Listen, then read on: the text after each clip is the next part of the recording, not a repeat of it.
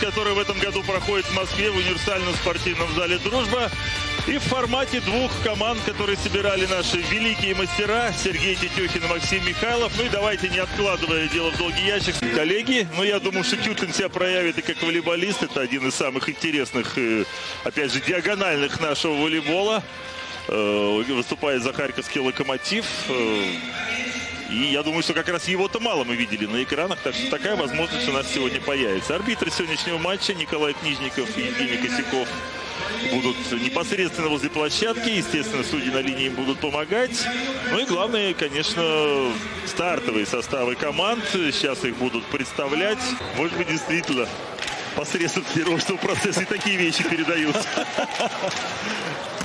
А вот что говорят, вы Значит, спрашивали. подача Остапенко, да, да. спрашиваю. Оба, но посмотрите, что произошло. Второй судья. рефери классную передачу отдал. Это Книжников.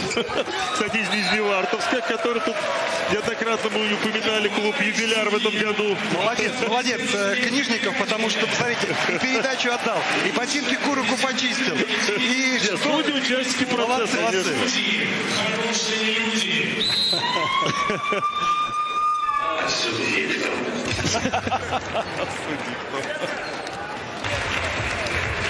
Ну, ей судьи подыгрывают. Какую передачу Книжников отдал прекрасно. Да, да, да.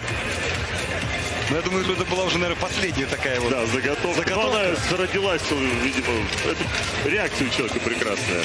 Сообразил и придумал. Да, видно, что хорошо играл в волейбол не так давно. Облюбовали эту пятую Жалко, если зону. измеритель скорости сняли, а то, может быть, пришлось бы сейчас нести свой приз Морозову и обратно.